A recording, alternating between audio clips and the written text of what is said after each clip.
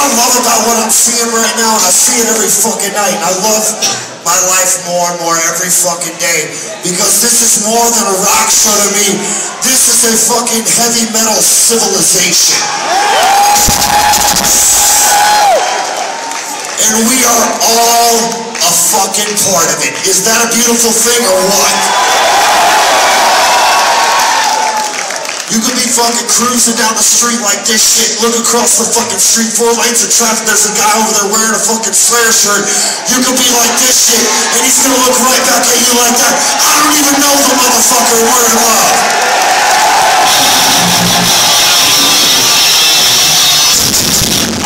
Yeah, everybody can use a little Slayer, right?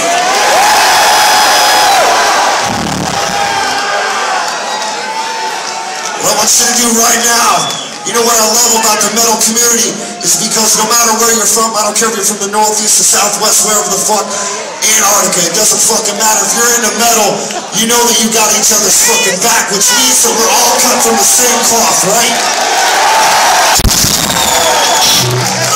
What right now, sure as I'm standing here, hand to fucking God, there is no difference between me or you. There is not a rock star on this stage. I am the same fucking person as every single one of you, and I fucking love that shit.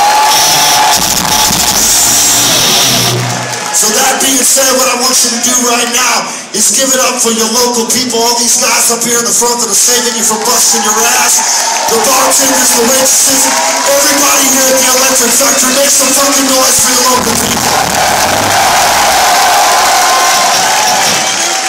To the most important group of people single-handedly that came in this fucking building tonight, hands down. Without them, we'd be five guys up here having a fucking rehearsal.